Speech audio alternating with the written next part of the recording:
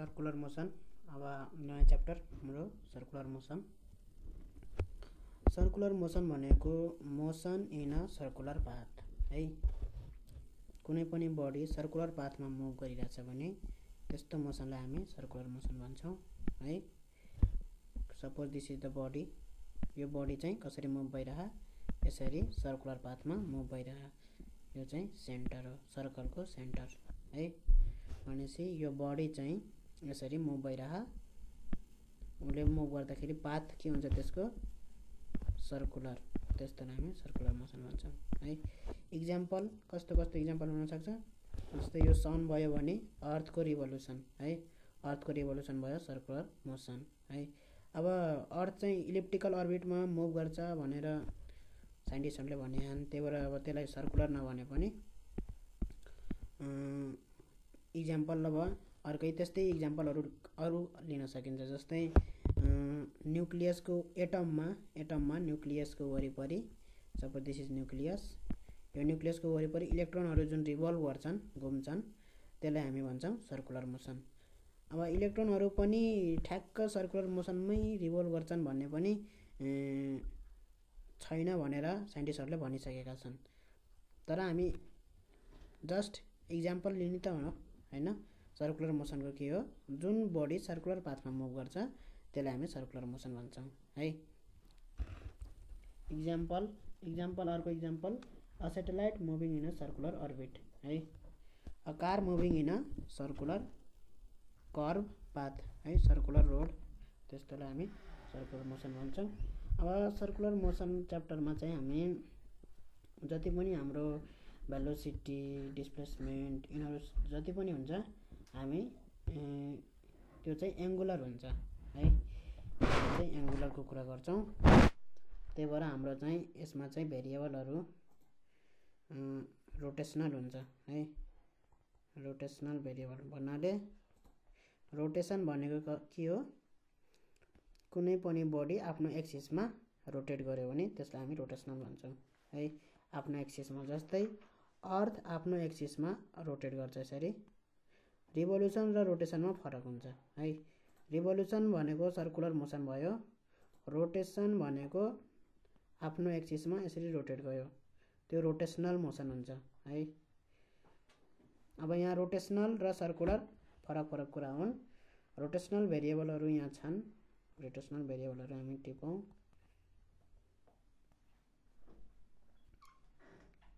Rotate भनेको यस्तो हो है? कुनै पनि अब जस्तै एउटा ग्लोब इक्जाम्पलको लागि एउटा ग्लोब लिगम हो त्यो ग्लोबलाई यसरी फनक्क फन्काएर घुमाइदियो भने यसरी फनक्क घुम्छ नि जुन। त्यसलाई भन्छ हामी रोटेसनल मोसन है। रोटेसनल भेरिएबलहरू के के छन् भन्दाखेरि हाम्रो angular displacement angular displacement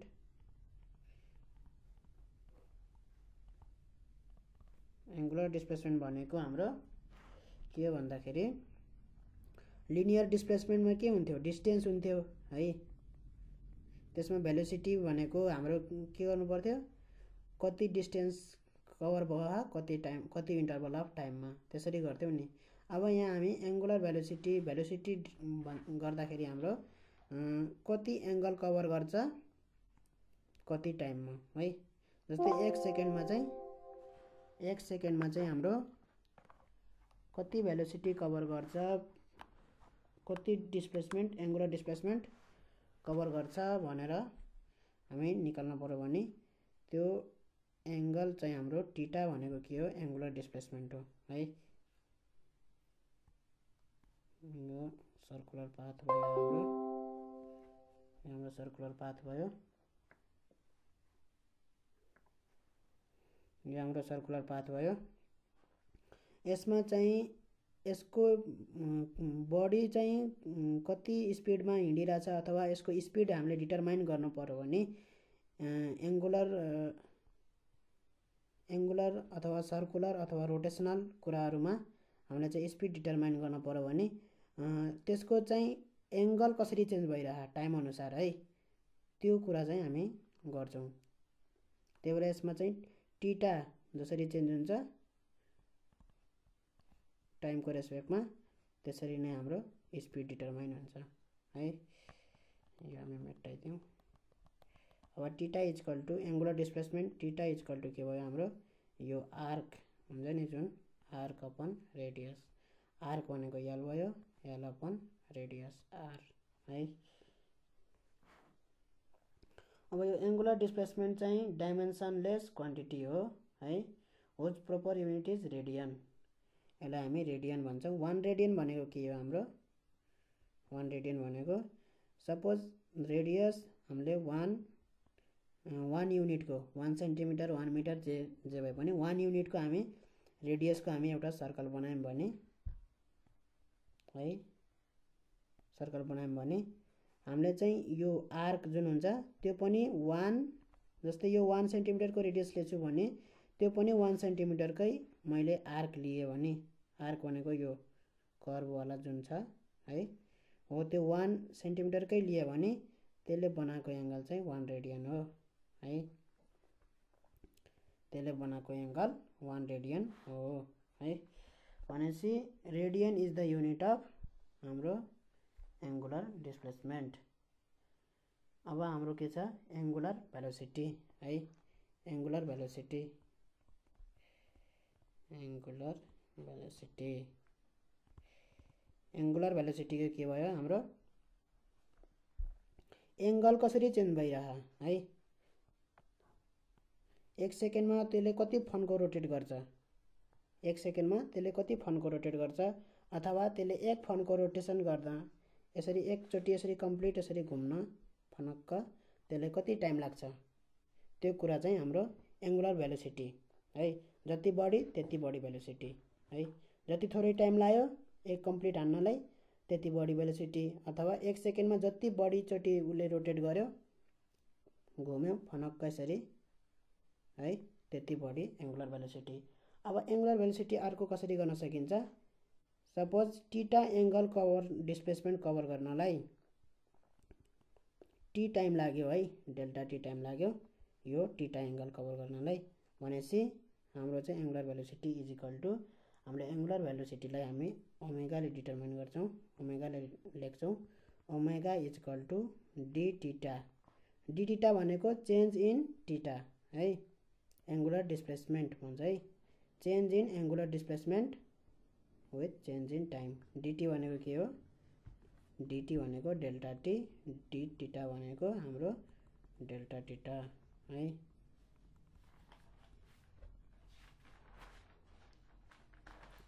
अब एभरेज एङ्गुलर भेलोसिटी भनेर छ। एभरेज एङ्गुलर भेलोसिटी भनेको हाम्रो टोटल एङ्गुलर डिस्प्लेसमेन्ट कति भयो र टोटल टाइम कति लाग्यो। है सपोज मैले यो सर्कुलर मोसनमा चाहिँ बडी यहाँदेखि यसरी यसरी यहाँसम्म पुग्यो है। उसले total angular displacement theta cover गर्यो है। र त्यो डिस्प्लेसमेन्ट कभर गर्नलाई उसले टाइम लगाएको थियो। टी भनेपछि उसको एभरेज एङ्गुलर भेलोसिटी कति हुन्छ? Omega average is equal to theta by T हुन्छ। है?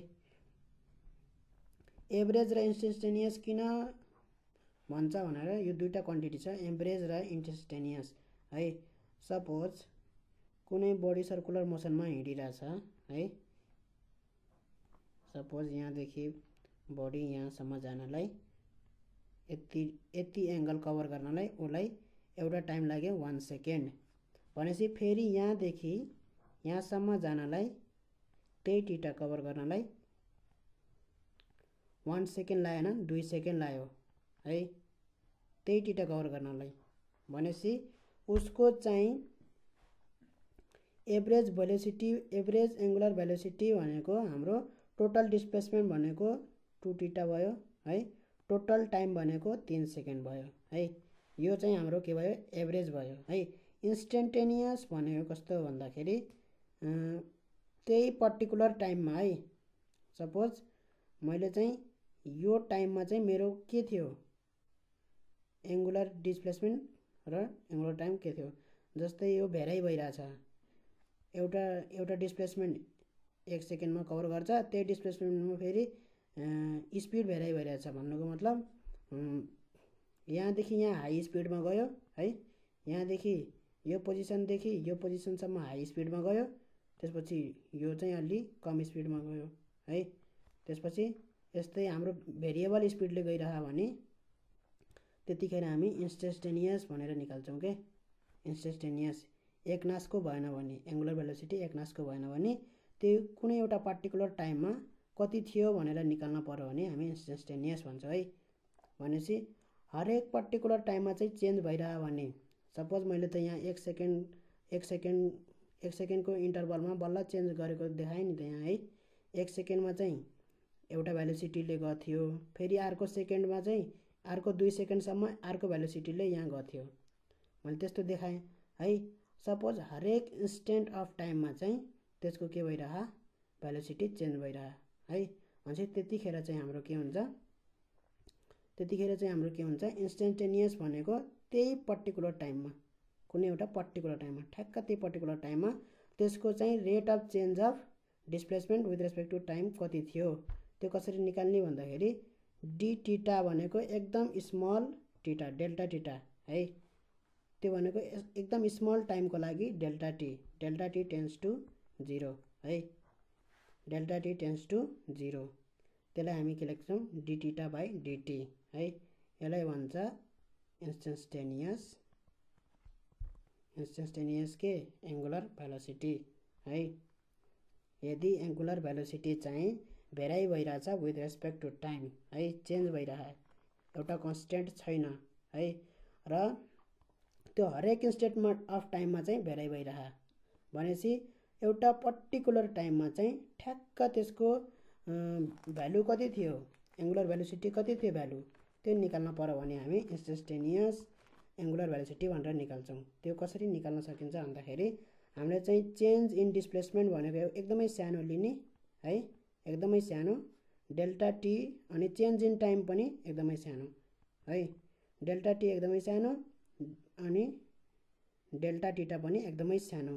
लिने हो भने त्यो भनेको ठ्याक्क त्यही टाइममा delta T tends to zero भन्दाखेरि दुईवटा पोइन्ट जुन यो छ यो पोइन्ट र यो पोइन्ट डेल्टा टीको जुन इन्टरभल छ नि यो पोइन्ट र यो पोइन्ट त्यो पोइन्ट के हुन्छ? Nearly delta T tends to zero हुँदाखेरि के हुन्छ? त्यो पोइन्ट त्यो दुईवटा पोइन्ट चाहिँ एउटै पोइन्ट पोइन्ट हुन जान्छ के? त्यो दुईवटा पोइन्ट एउटै पोइन्ट हुन जान्छ है? त्यतिखेर चाहिँ हाम्रो के हुन्छ? त्यतिखेर चाहिँ हाम्रो त्यो त्यहाँबाट निकालेको हाम्रो चाहिँ एङ्गुलर भ्यालुसिटी के भयो?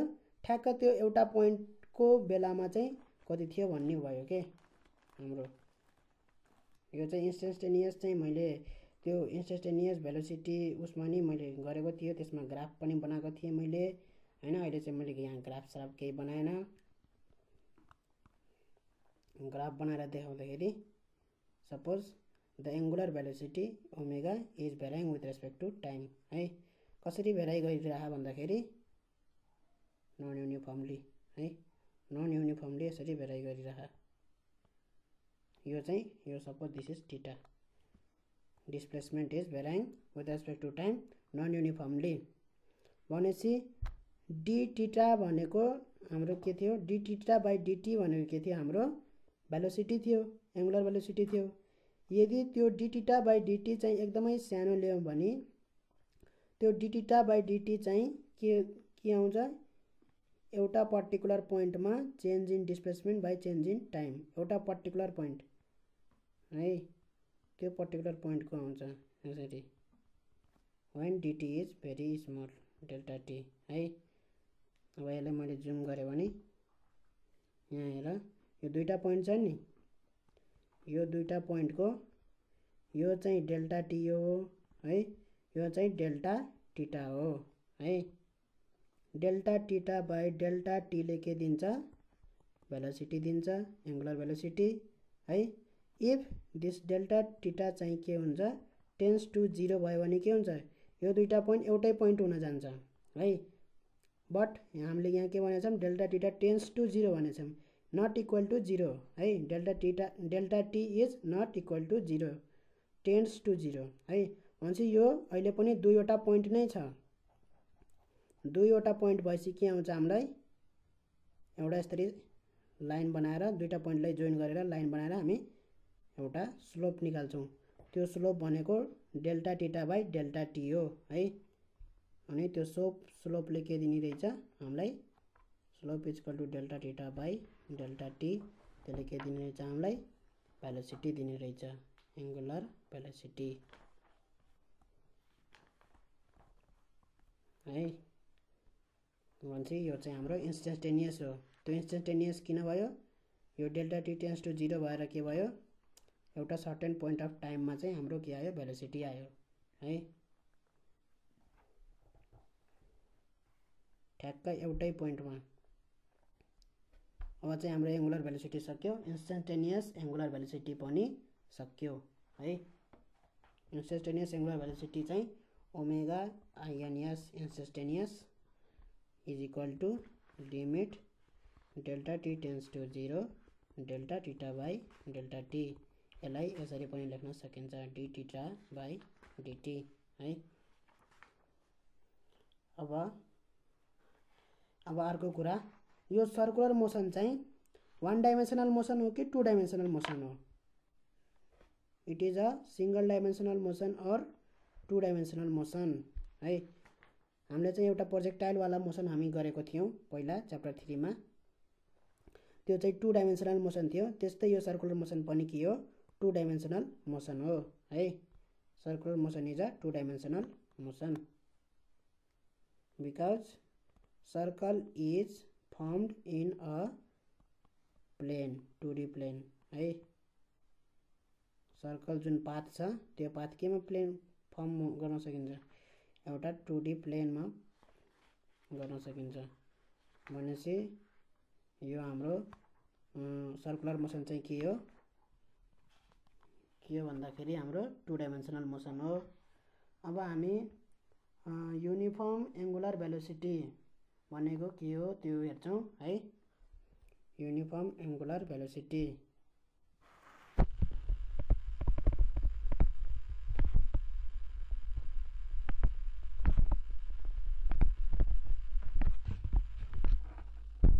uniform angular velocity भन्नाले भेलोसिटी चाहिँ चेन्ज नहुने विथ रेस्पेक्ट टु टाइम एउटै भेलोसिटीले एकै नासले हिँडिराख्ने है। सपोज कुनै बडी छ यसरी। यो बडी चाहिँ यसको वरिपरि यो सर्कुलर पाथमा हिँडिरहेछ। र यसको गति चाहिँ स्पिड चाहिँ मतलब गति के छ? युनिफर्म छ। यसले यहाँदेखि यहाँसम्म जानलाई जति टाइम लगाउँछ यो एङ्गल है जति टाइम लगाउँछ त्यति नै टाइम यहाँदेखि यहाँ एङ्गल त्यही एङ्गल त्यति नै टाइम लगाउँछ है। त्यस्तोलाई हामी भन्छौँ युनिफर्म एङ्गुलर भेलोसिटी। यहाँ फेरि फेरि त्यही त्यही एङ्गल फेरि यहाँ कभर गर्नलाई कति टाइम लगाउँछ त्यही टाइम लगाउँछ फेरि यहाँ त्यही एङ्गल कभर गर्नलाई फेरि त्यही टाइम लगाउँछ भनेपछि यस्तो यस्तो भेलोसिटीलाई के भन्छ हामी? युनिफर्म एङ्गुलर भेलोसिटी भन्छ। है? त्यसको स्पिड एकनासको छ। काहीँ पनि चेन्ज हुँदैन। है? यहाँ यहाँदेखि यहाँ जान एकदमै स्पिडमा जाने फेरि यहाँ स्लो होइन? स्लो हुँदै हुँदै हुँदै त्यस्तो खाले होइन। है? युनिफर्म भनेको एक नासको अब टाइम पिरियड भनेको के हो भनेर हामी निकाल्छौँ।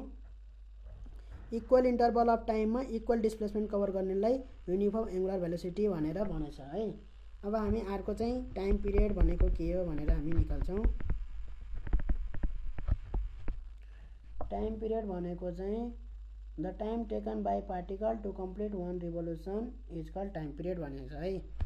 सर्कुलर मोसनमा हिँड्दाखेरि कुनै पार्टिकल सर्कुलर मोसनमा हिँड्दाखेरि सपोज यहाँदेखि स्टार्ट गऱ्यो हिँड्न है यो बडी चाहिँ यहाँदेखि स्टार्ट गऱ्यो हिँड्न यहाँदेखि यसरी एक कम्प्लिट रिभोल्युसन हानेर है एक कम्प्लिट साइकल हानेर ठ्याक्क यहीँ पुग्नलाई कति टाइम लाउँछ? त्यसलाई भन्छ टाइम पिरियड है त्यसलाई भन्छ टाइम पिरियड है र फ्रिक्वेन्सी छ अर्को। है? टाइम पिरियड भनेको के रहेछ? T is equal to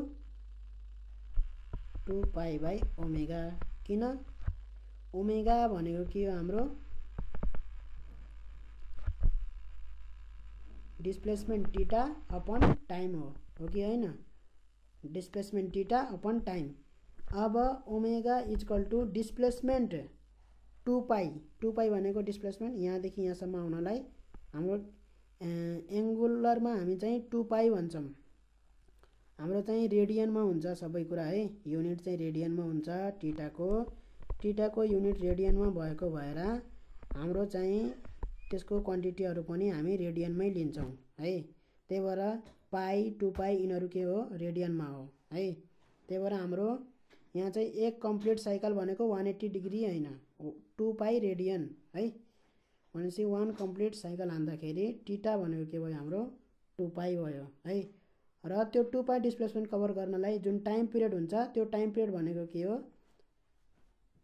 T हो क्यापिटल टी जसको meaning time period time taken to cover one revolution अथवा two pi two pi displacement है? Theta is equal to two pi cover गर्नलाई कति टाइम लाउँछ त्यो टाइमलाई टाइम पिरियड हो है? भनेपछि टी इजकल टु के आयो हाम्रो टु पाई बाई ओमेगा आयो है? टाइम पिरियड भनेको त्यो अब फ्रिक्वेन्सी है? फ्रिक्वेन्सी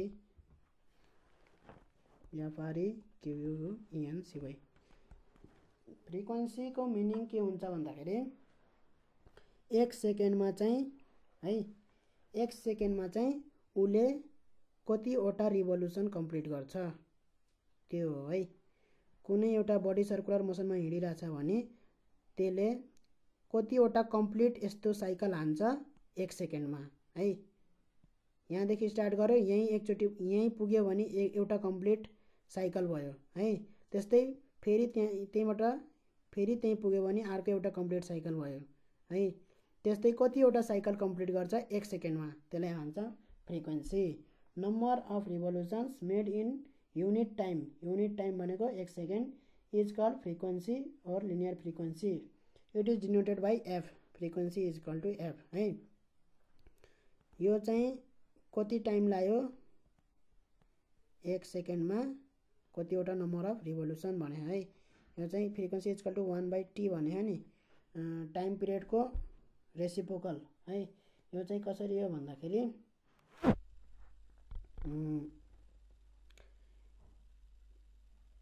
एक एक कम्प्लिट हान्नलाई कति टाइम लाग्छ? है? एक कम्प्लिट साइकल हान्नलाई कति टाइम लाग्छ? सपोज टी टाइम लाग्छ। भनेपछि एक सेकेन्डमा कति टाइम कति ऊ सानो भनेर गर्न पऱ्यो भने कसरी गर्ने? एक complete cycle one cycle is call to T second time लाग्यो है। भनेपछि एक सेकेन्ड भनेको कति साइकल हान्छ वान बाई टी साइकल है? One by T cycle. यो भनेको फ्रिक्वेन्सी हो है? एक सेकेन्डमा वान बाई टी साइकल। एक साइकलको टी सेकेन्ड है? वान साइकललाई टी सेकेन्ड चाहिन्छ भने टी भनेको टाइम पिरियड है? टी भनेको टाइम पिरियड वान साइकललाई टी सेकेन्ड चाहिन्छ भने एक सेकेन्डलाई कति चाहिन्छ वान बाई टी साइकल भनेपछि फ्रिक्वेन्सी इजकल टु के भयो वान बाई टी है? Frequency is equal to one by T अब फ्रिक्वेन्सी इजकल टु अब यसलाई हामी एङ्गुलर भेलोसिटीको टर्ममा लेखौँ है? वान बाई टी भनेको के हो हाम्रो? टु पाई बाई ओमेगा यो अघि हामी निकालिसकेका छौँ time पिरियडको T is equal to two pi by omega यहाँ छ है? भनेपछि हाम्रो के भयो? Two pi F by omega is equal to one भयो। Omega is equal to two pi F भयो। अर्को रिलेसन आयो एङ्गुलर भेलोसिटीको फ्रिक्वेन्सीको टर्ममा है। फ्रिक्वेन्सी पनि सकियो। भनेपछि अब हाम्रो एङ्गुलर एक्सिलरेसन भन्ने छ है। एङ्गुलर एक्सिलेरेसन यो लास्ट हो last topic angular acceleration angle angular acceleration भनेको if a body moves in a circle with non uniform angular velocity then the body set to have angular acceleration भने चाहिँ भन्नुको मतलब बडी चाहिँ circular मोसनमा move गरिरहेछ है तर नन युनिफर्म भेलोसिटीले नन युनिफर्म भेलोसिटी भनेको कस्तो? एउटा इन्टरभल अफ टाइममा जति डिस्प्लेसमेन्ट कभर गर्छ त्यही इन्टरभल अफ टाइममा त्यति डिस्प्लेसमेन्ट कभर गरेन भने सपोज यही इन्टरभल अफ टाइममा अर्कोचोटि उसले अझै बढी डिस्प्लेसमेन्ट कभर गर्यो। यहाँ टिटा यहाँ अल्फा गऱ्यो भने यस्तो यस्तो यस्तोलाई हामी भन्छौँ non uniform non uniform angular velocity है? युनिफर्म भनेको कस्तो हुनुपर्छ? इक्वल इन्टरभल अफ टाइममा इक्वल एङ्गुलर डिस्प्लेसमेन्ट कभर गरेको हुनुपर्छ। एङ्गुलर डिस्प्लेसमेन्ट भनेको एङ्गल है टिटा भनेपछि यस्तो भयो भने नन युनिफर्म यस्तो भयो भने त्यो नन युनिफर्म के को कारणले भएको? जुन यो भेलोसिटी चेन्ज भयो होइन? त्यो भेलोसिटीलाई हामी भन्छौँ त्यो चेन्ज इन एङ्गुलर भेलोसिटीलाई भन्छ एङ्गुलर एक्सिलेरेसन है? त्यसलाई अल्फाले डिनोट गर्छ। र यो अल्फा एभरेज अल्फा एभरेज भनेको एभरेज एङ्गुलर एक्सिलेसन भनेको total change in the angular velocity total change in the angular velocity upon total change in the time है यो भनेको एउटा ठुलो इन्टरभल हो है ठुलो interval delta omega by delta T है ठुलो इन्टरभलमा चाहिँ एभरेज भन्ने हुन्छ नन युनिफर्म भए पनि अल्फा चाहिँ नन युनिफर्म भयो भने भयो पनि भन्ने हाम्रो चाहिँ एभरेज भनेको तिनीहरूको चाहिँ तिनीहरूको चाहिँ एभरेज निकालिदिने जस्तै हाम्रो चाहिँ सुरुमा चाहिँ अल्फाको भ्यालु थोरै छ है। यति छ है। त्यसपछि यति त्यसपछि यति त्यसपछि यति त्यसपछि यति यति छ है अल्फाको भ्यालु।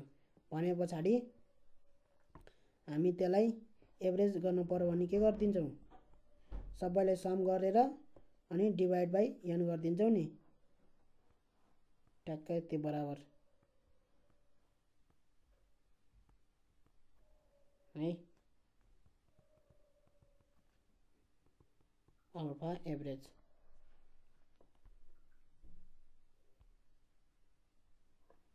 भनेपछि एभरेज एङ्गुलर एक्सिलेरेसन भनेको total change in the total change in the हाम्रो angular velocity upon total change in the time अब हामी चाहिँ इन्स्टेन्टेनियस इन्स्टेन्टेनियस के हुन्छ भने पछाडि? इन्स्टेन्टेनियस एङ्गुलर एक्सिलेरेसन के हुन्छ? त्यो चाहिँ हाम्रो चाहिँ इन्स्टेन्टेनियस निकाल्न पऱ्यो भने जहिले पनि स्मल चेन्ज निकाल्नुपर्छ है? कुनै एउटा पर्टिकुलर टाइममा मात्रै हामी गर्नुपर्छ।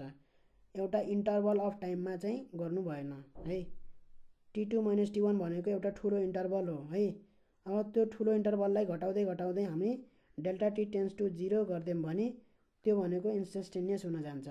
एउटा पर्टिकुलर टाइममा चाहिँ भेलोसिटी कसरी चेन्ज भयो एउटा पर्टिकुलर टाइममा त्यसले चाहिँ त्यो दिन्छ।